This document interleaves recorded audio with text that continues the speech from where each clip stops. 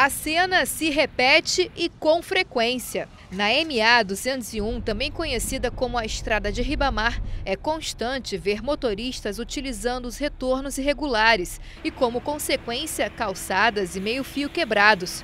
No ano passado, a Secretaria de Infraestrutura do Estado realizou uma intervenção no trânsito da região. Todo o canteiro central foi restaurado e alguns retornos retirados, assim, obrigando os motoristas a fazerem os retornos de quadra.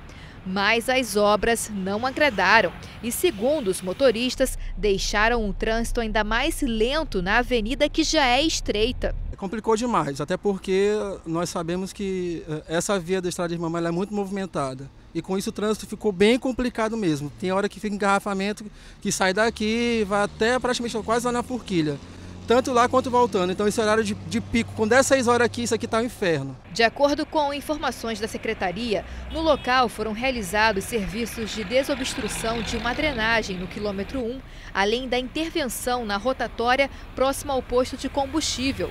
Foram prometidos a instalação de três retornos para melhorar o trânsito no local, sendo eles na altura da região da Maiobinha, outro no cruzamento da Avenida Tancredo Neves com a MA 201 e o último nas proximidades da Vila Quiola. Enquanto isso, os retornos fechados seguem causando polêmica, não só para os motoristas, como também para os moradores da região. Fica lento o trânsito, é difícil chegar aqui agora, porque fica muito congestionado, né?